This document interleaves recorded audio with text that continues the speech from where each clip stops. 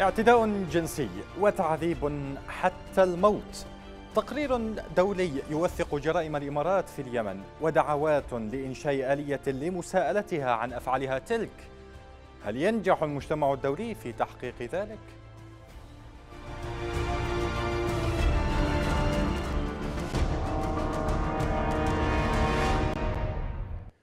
أهلا بكم. تقرير لمفوض الأمم المتحدة السامي لحقوق الإنسان صدر حديثا يظهر ارتكاب جنود إماراتيين وميليشيات تابعة للإمارات انتهاكات عديدة. من بينها التعذيب حتى الموت والإخفاء القسري والاغتصاب وسوء المعاملة ضد مختطفين في منشآت تسيطر عليها في عدد من المحافظات الجنوبية. التقرير الذي وثق الجرائم خلال عامي 2018 و2019 وجد أن الإمارات وبقية أطراف النزاع ارتكبت انتهاكات ضد حقوق الإنسان. وانتهاكات للقانون الدولي الإنساني. ومن المحتمل أن تصل بعض هذه الانتهاكات إلى مستوى جرائم حرب. قائمة المنتهكين لحقوق الإنسان وجرائم الحرب في اليمن قدمت للمفوضية السامية لحقوق الإنسان. فهل تتحقق العدالة ذات يوم؟ عصابات إجرامية. نص الليل في أي وقت اختطفوا أولادنا بدون أي تهمة. يشلوهم ليش؟ ترفع الإمارات. كله من تحت اللي زرعت الميليشيات وهي اللي مجددا جرائم الإمارات بين يدي الأمم المتحدة.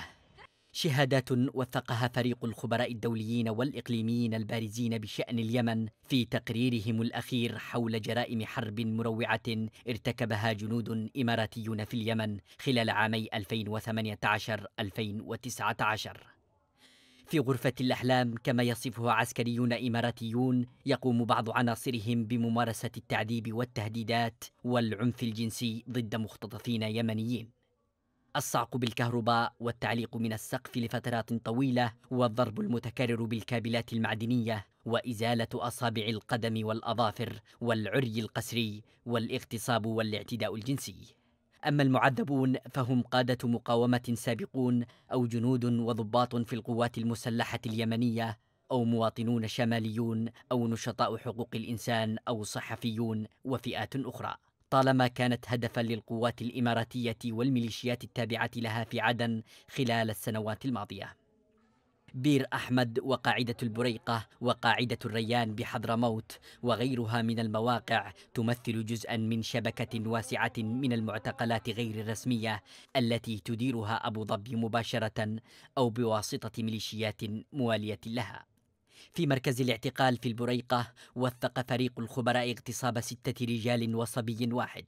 وفي عدد من الحالات تم اغتصاب الضحايا عدة مرات بالإضافة إلى عمليات اغتصاب ضد مهاجرين ولاجئين أفارقة.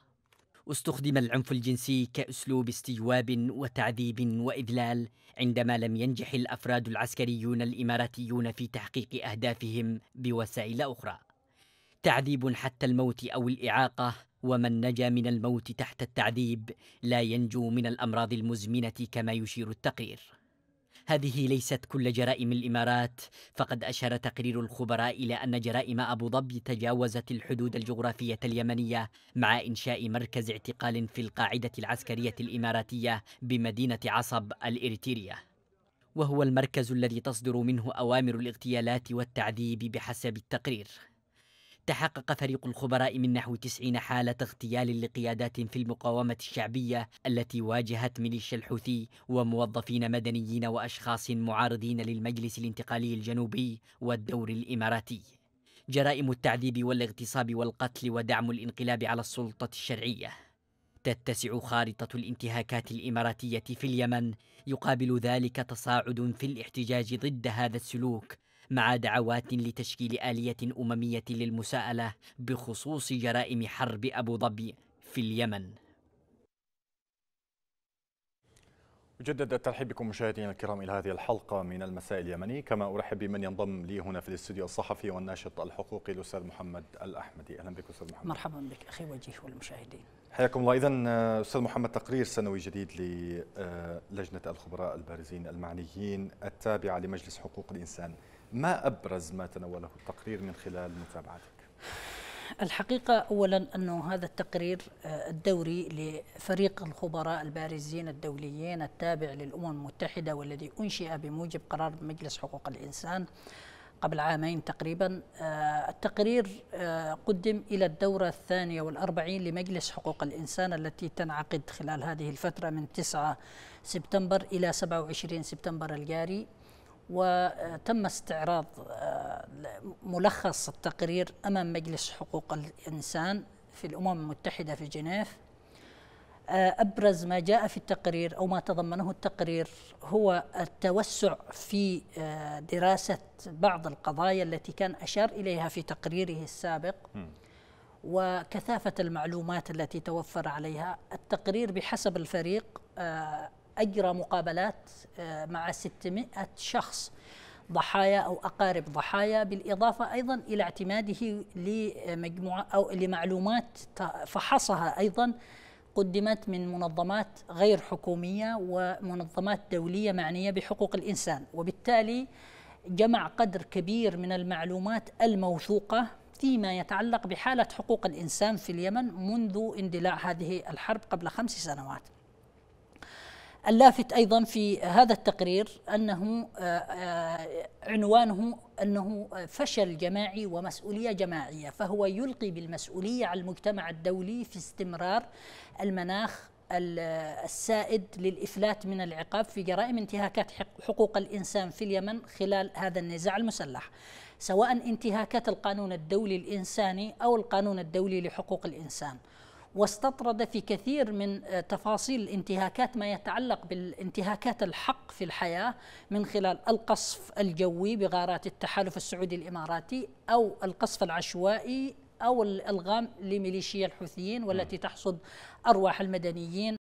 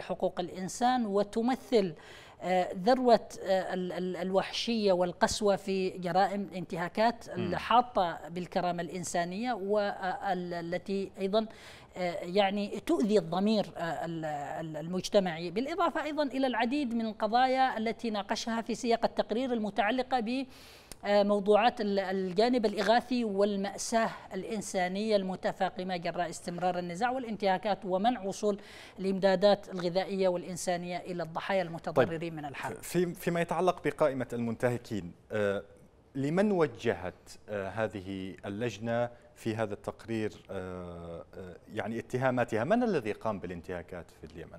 ما هي الأطراف؟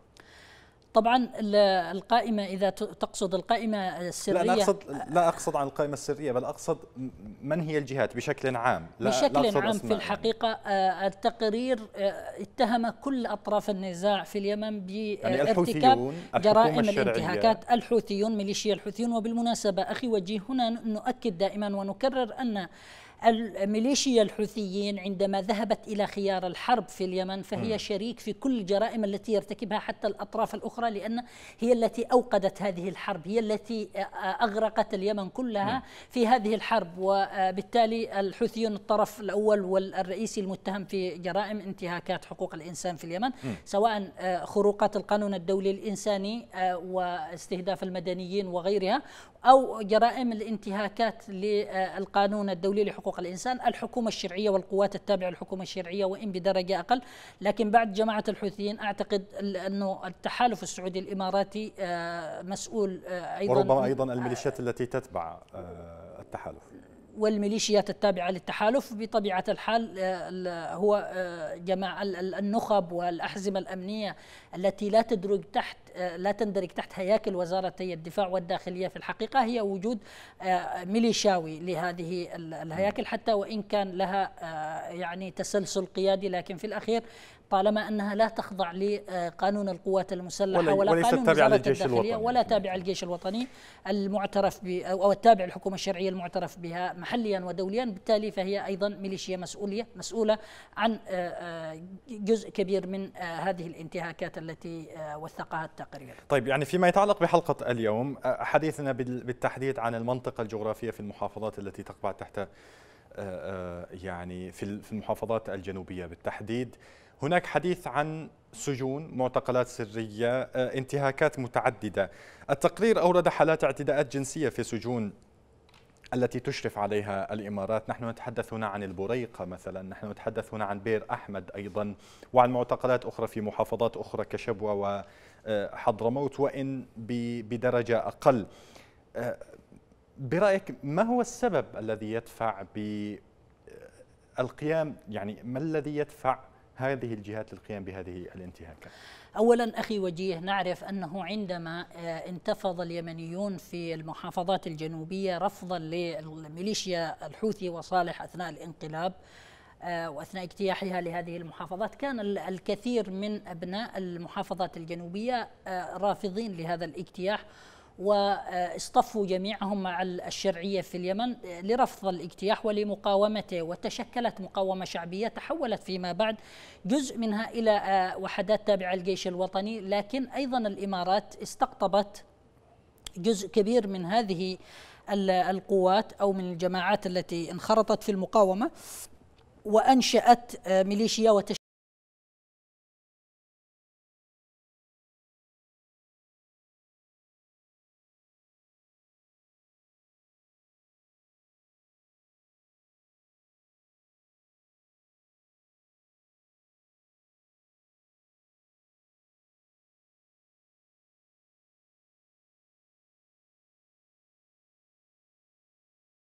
صنوف القمع والتنكيل برموز المقاومة أيضا الذين كانوا آه، جزءا من آه، الدفاع عن هذه المحافظات. بل أنه تحول تحولت هذه الشبكات والميليشيات المسلحة التابعة للإمارات إلى أدوات لفرض نظام آه، قمعي آه، يشبه أيضا نظام القمعي في الإمارات. بمعنى أن الإمارات أرادت أن تفرض نظامها في قمع الحريات رغم ما تدعيه من مظاهر بالراقه في المدنية وما أشبه ذلك والتسامح. لكن في الواقع الإمارات تتخفى خلف واقع مزري بالنسبة لانتهاكات حقوق الإنسان وقمع الحريات في دولة الإمارات. طيب يعني لكن هذا ما هذه التجربة ارادت الجنوبية. نعم يعني الإمارات لها أن نعم أرادت نقل التجربة فقط.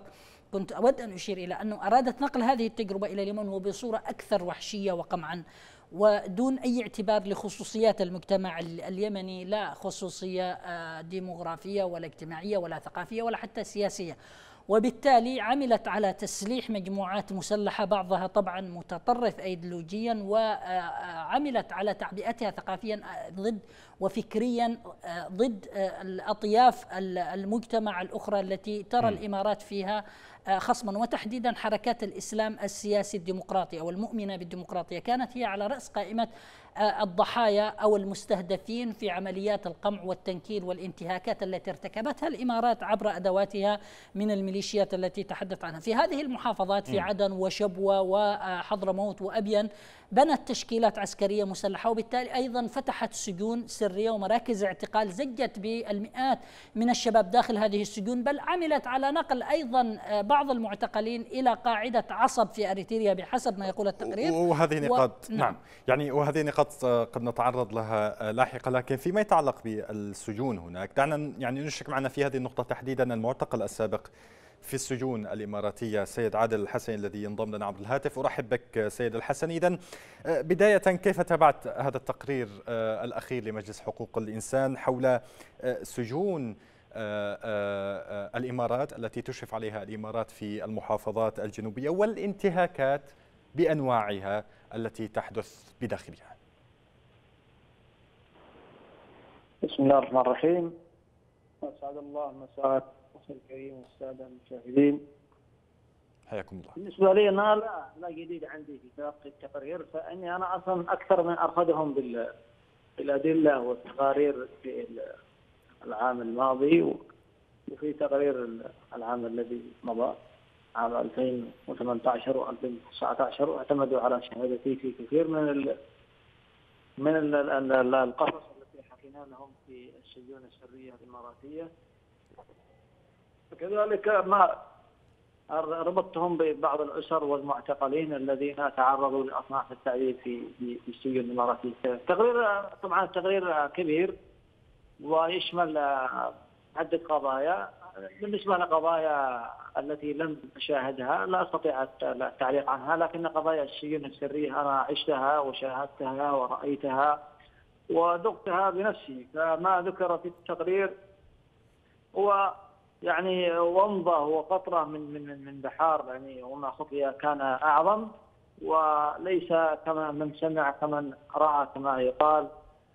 وموسى عليه السلام حين قال له الله سبحانه وتعالى إن قوم قد عبدوا العجل لكن لما رآهم عبدوا العجل سقطت الألواح من يده. فليس من راى كمن سمع نحن ما رأيناه والله أشياء تشيب لها الولدان من التفنن. يعني الشيء الذي أنا متعجب منه ومستغرب منه يعني التفنن في أنواع التعذيب. كل يوم كانوا يأتوا لنا بنوع جديد من أنواع التعذيب والتلذذ ويعني كأن هؤلاء القوم يعني يشعرون بعقدة نقص أكملوها في اليمن ولا حول ولا قوة إلا الله المستعان. طيب سيد الحسني أنت كنت أحد المسجونين في سجون الإمارات. يعني دعما ل أو بالحديث بهذه المناسبة صدور هذا التقرير هل ذكرت لنا أو يعني أعطيتنا ذكرت الساده المشاهدين بجزء من ما مررت به وإن كان السؤال أو الحديث عن ذلك قد يكون صعبا بالنسبة لك ولغيرك من اليمنيين لكن هل أعطيتنا شهادة ما حدث في داخل هذه السجون؟ يعني أنا اول أول ما أول ما وصلت إلى هذا المعتقل الإماراتي أول شيء اول أول إجراء هو عصب العينين. يعصب عينيك فلا تدري في أي مكان أنت في أي أرض. ثم ذهبوا بي إلى إلى حفرة ضيقة يسمونها حفرة الوحش. هناك حفر في في في جانب السجن. يضعوا فيها السجين مكبل اليدين ومكبل الرجلين ومعصوب العينين. وفيها بقيت في هذه الحفرة لمدة 48 ساعة. الحقيقة أني كنت أفارغ الحياة فيها. ومن ثم ذهب بي إلى إلى مكان التحقيق الكونتينر الذي فيها الضباط الإماراتي الإماراتيين.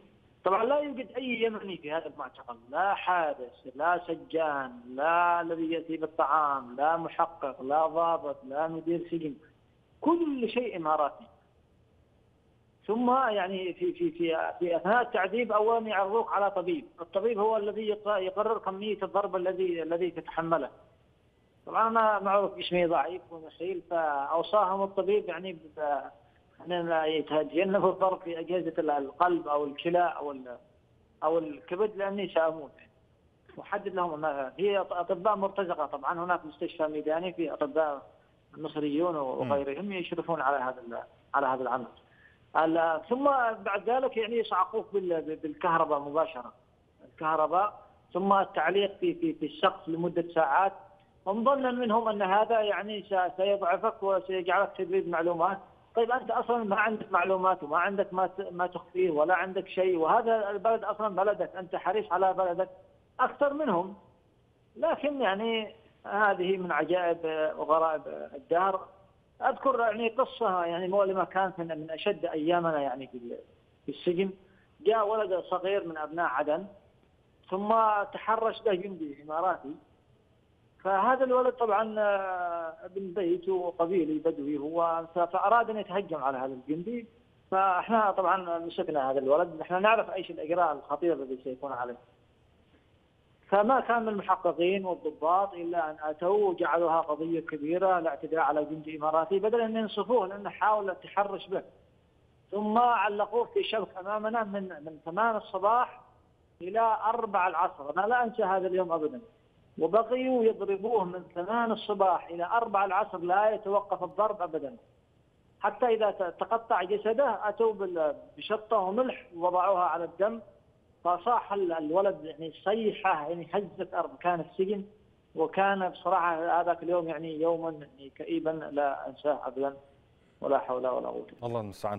فرج الله عن كل من آه، آه، آه، هو معتقل في هذه السجون بدون وجه حق. على كل حال سيد الحسني يعني الآن ماذا عن الشباب الذين تم يعني عن الناشطين وعن من تم اعتقالهم في عدن خلال الأحداث الأخيرة؟ هل لديك معلومات عنهم ما هي أوضاعهم وأحوالهم.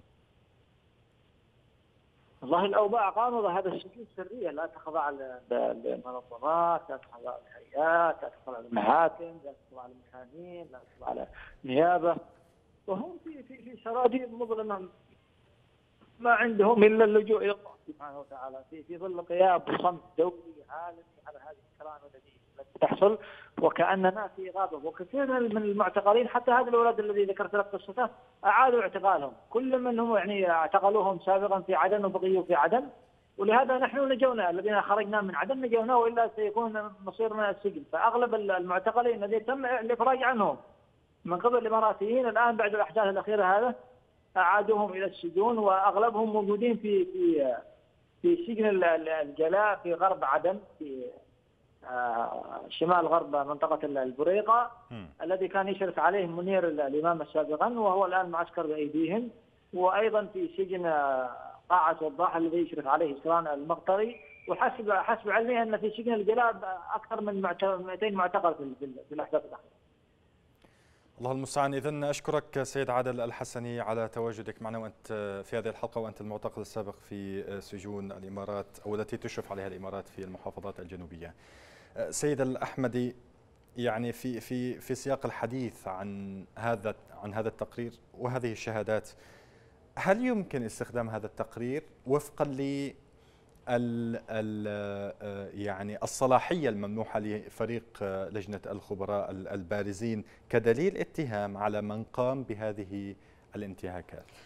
اولا أخي وجيه في الحقيقة عندما نقرأ آه، في تفاصيل هذا التقرير ونستمع إلى شهادات أحد الضحايا مثل الأخ عادل الحسني في الحقيقة وهو آه، شخص شجاع ويستحق كل التقدير والاحترام ولأنه أيضا آه، كان أول الأصوات التي فضحت جرائم الإمارات في السجون السرية ورفض الصمت وكان له دور كبير أيضا حتى في كسر حاجز الصمت في في عدن. والحقيقة أخي وجيه الواحد يستغرب عندما يسمع هذه الشهادات الصارخة. من أين أتوا هؤلاء؟ يعني من أين جلبوا كل هذا المخزون الهائل من الحقد ضد اليمنيين؟ كان اليمنيون يقولون ان التحالف السعودي الإماراتي سيأتي لإنقاذهم من إجرام وبطش ميليشيا الحوثيين.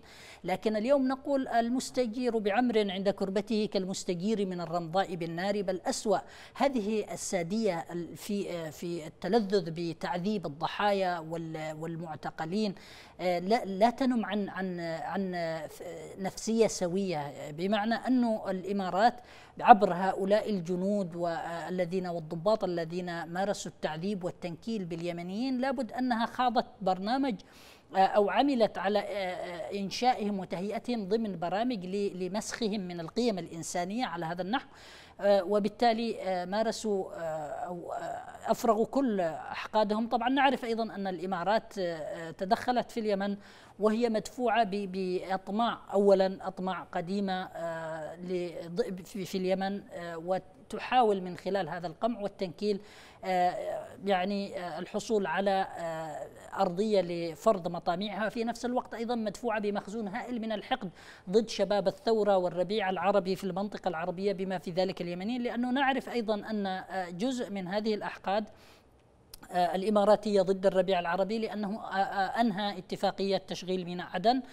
في 2012 وبالتالي لديها لدى الإمارات والنظام الإماراتي والمحققين والضباط الذين أرسلوا إلى اليمن مخزون هائل من الحقد ضد اليمنيين والنظر إليهم كأعداء وبالتالي ممارسة هذه القسوة وهذا القمع الوحشي بحقهم. ما يتعلق بسؤالك بإمكانية أن يكون لهذا التقرير نتائج آه، معينة لمحاسبة المتورطين بطبيعة الحال. أخي آه، وجيه آه، التقرير الآن أصبح وثيقة أممية وملف انتهاكات حقوق الإنسان بسبب أداء الفريق الخبراء البارزين وتوثيقه لهذه الانتهاكات بتفويض من مجلس حقوق الإنسان والأمم المتحدة آه، يقرب ال ال ال يعني أو يضيق الخناق على المتورطين في جرائم الانتهاكات من كل لا الأطراف لا لكن هي نقطة. أنا يعني سؤالي حول التص أو يعني الصلاحيات التي تع يعني التي أعطيت من قبل مجلس حقوق الإنسان. لأن إحنا عند إذا ما رجعنا بالزمن إلى يوم إنشاء هذه اللجنة نتذكر الخلافات التي كانت تحدث الجدل الذي حصل والحديث عن اللجنة ودعم اللجنة الوطنية للتحقيق في ادعاءات انتهاكات حقوق الإنسان. لذلك سؤالي الآن إلى أي مدى سيؤخذ بهذا التقرير؟ من قبل هذه اللجنة نتحدث. أولا آه، لا يزال لا تزال مخاوف قائمة نفسها والجدل ربما لا يزال قائم. نحن نتذكر أنه التحالف أو مسؤول في الحكومة اليمنية آه، انتقد تقرير فريق الخبراء لأنه أشار إلى بعض الانتهاكات من آه، طرف القوات الحكومية وما أشبه ذلك. يعني لكن هي في, لكن في حقيقة الأمر على حسب ما ذكر تقريبا في التحقيق لم تتعاون الحكومة اليمنية حتى في إدخال هذه اللجنة إلى إلى الأراضي اليمنية نعم أليس كذلك؟ للأسف الشديد هذا فعلا وهذا ربما يدينهم أليس وهذا كذلك؟ بالضبط يعني يعتبر إذا أو عدم تعاون مع آلية أممية تم إقرارها وتفويضها للعمل على آه، انتهاكات حقوق الإنسان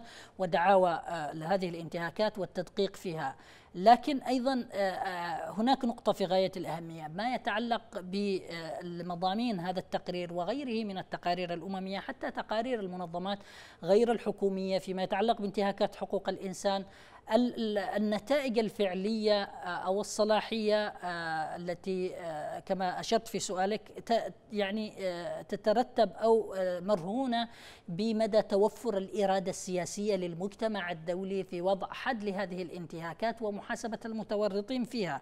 إذا توفرت إرادة سياسية للمجتمع الدولي والفاعلين الدوليين الأعضاء في مجلس الأمن في مجلس حقوق الإنسان للبدء بإجراءات محاسبة محاسبه للأطراف المتورطة في انتهاكات حقوق الإنسان أو حتى الأشخاص المسؤولين عن هذه الانتهاكات بحسب التسلسل القيادي في كل طرف من أطراف النزاع التي انخرطت في آه، سياسة آه، القمع والتنكيل وانتهاكات حقوق الإنسان وفي نفس الوقت أيضا حتى على مستوى الأشخاص. آه، كما أشار التقرير مع التثبت من وجود نية لاستهداف سواء المدنيين في الغارات التحالف أو القصف العشوائي لميليشيا الحوثيين.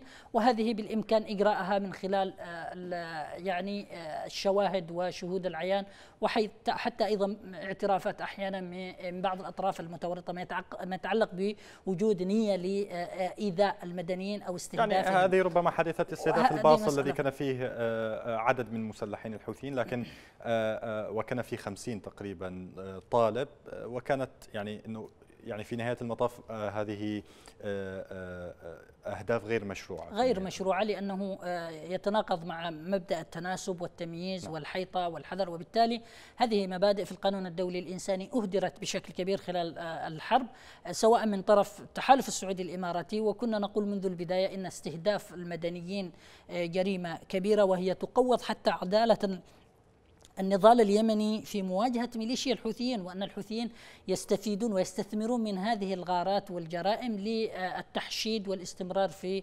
القتال وفرض أنفسهم كسلطة أمر واقع وادعاء أنهم يدافعون عن اليمنيين.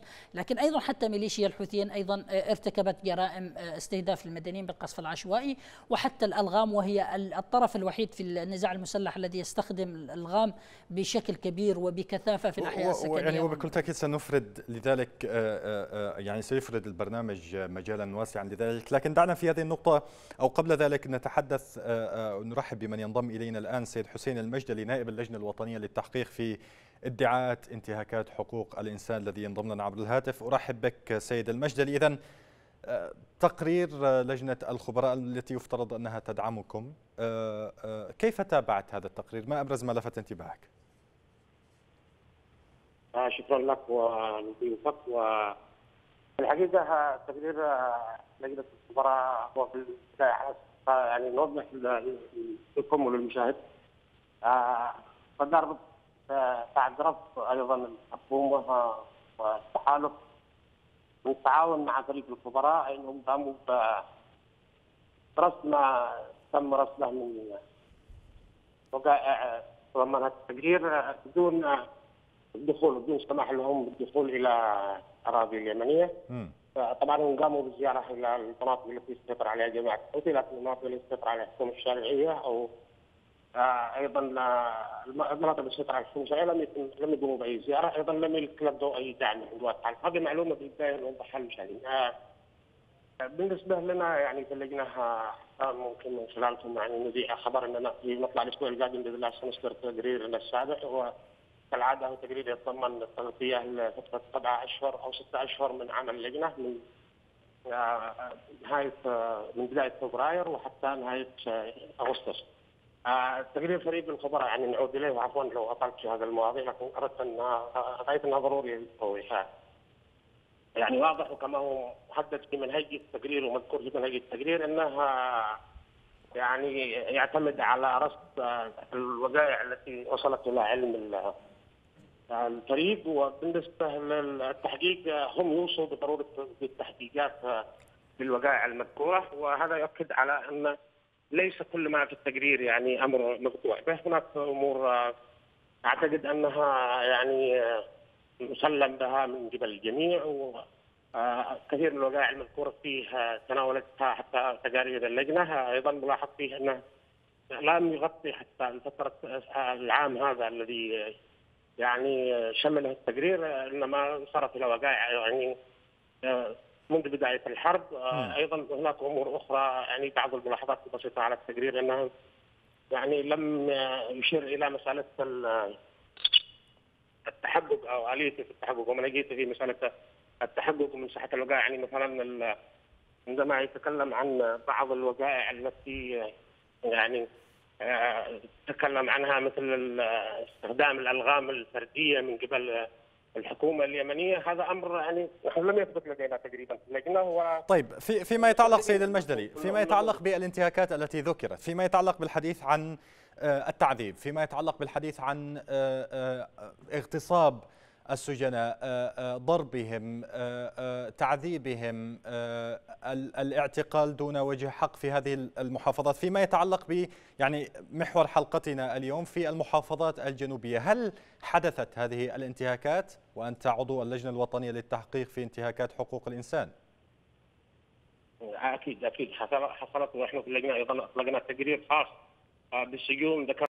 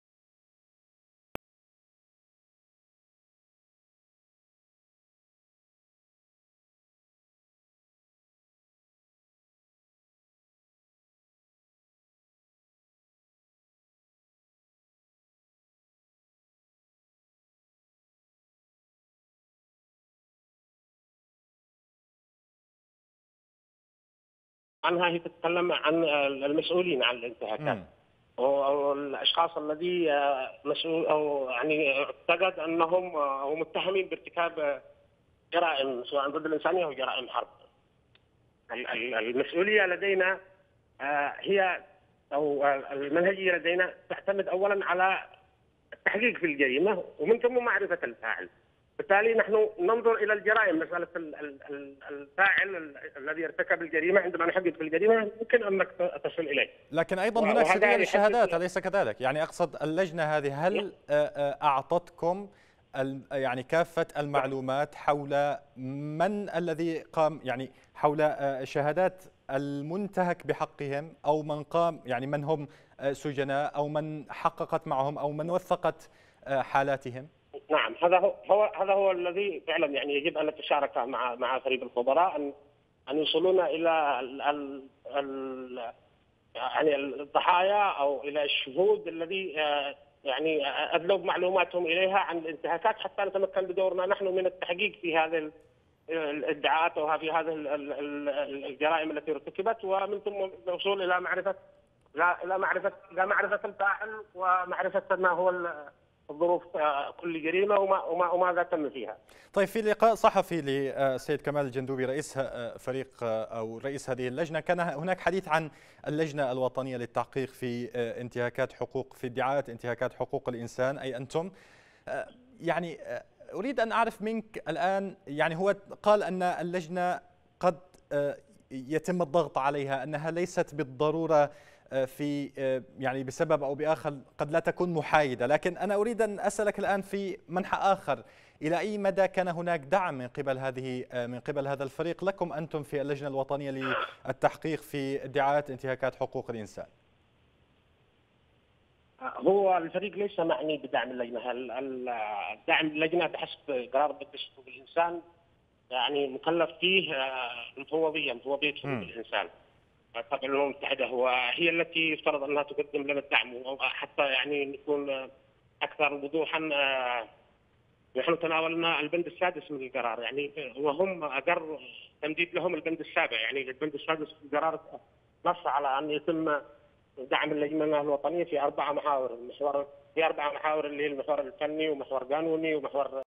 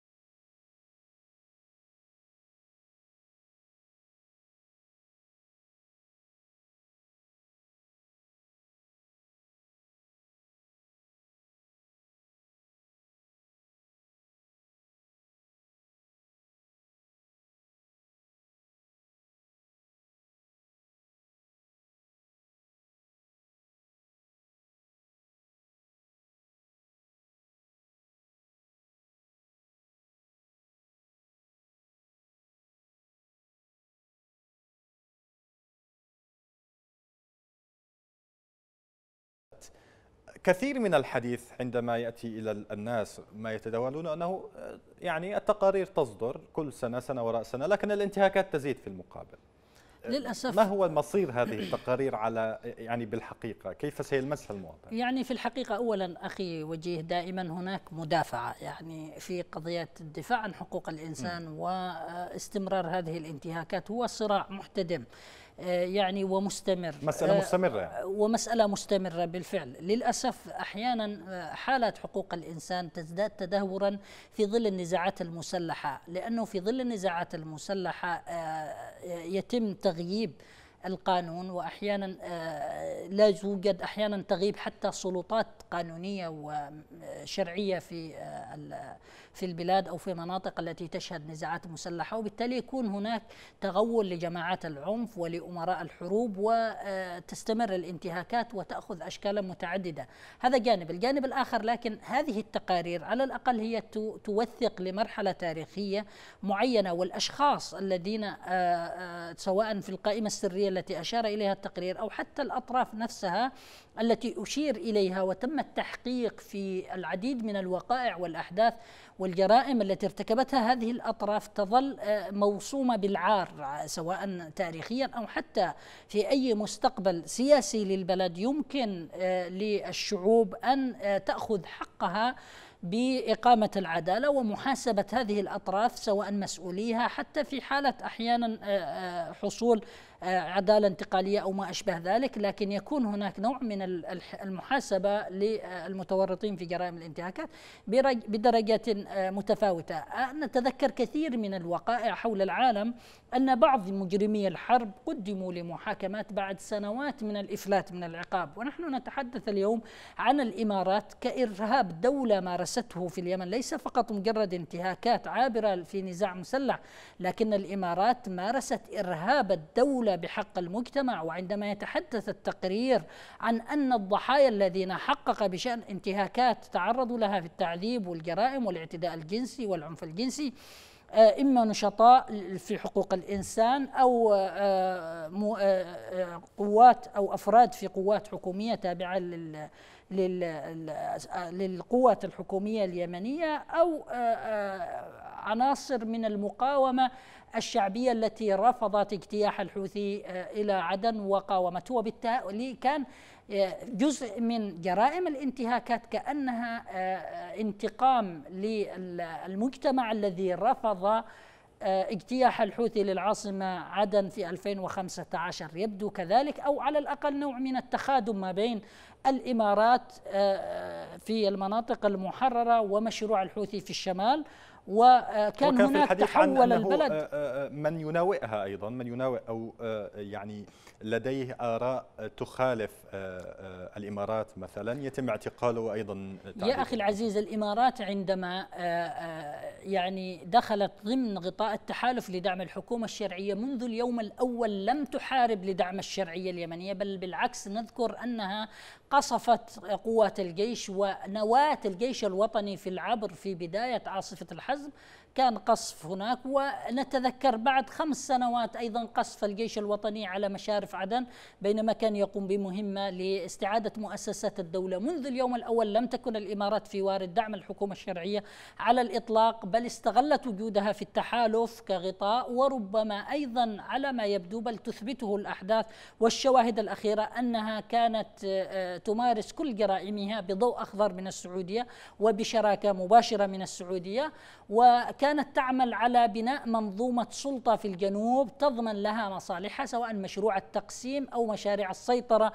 على ميناء عدن والموانئ والجزر اليمنية وعملت على قمع آه، كل من آه، يحتمل أن يعارض مشروع الإمارات في الجنوب بشكل وحشي ومفرط.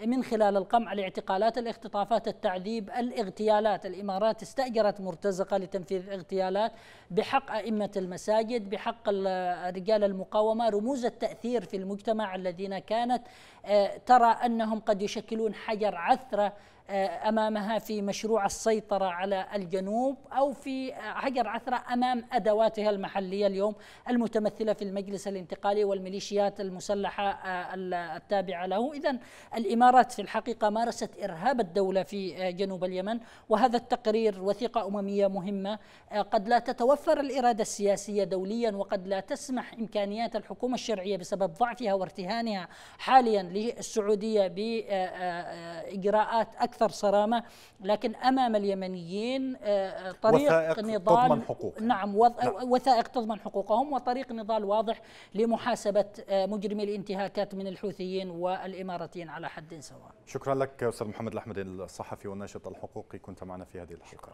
شكرا. الشكر موصول لكم مشاهدينا الكرام على حسن المتابعة والانصات في ختام هذه الحلقة. تقبلوا تحياتي وتحيات طاقمي العمل الفني والتحريري إلى اللقاء.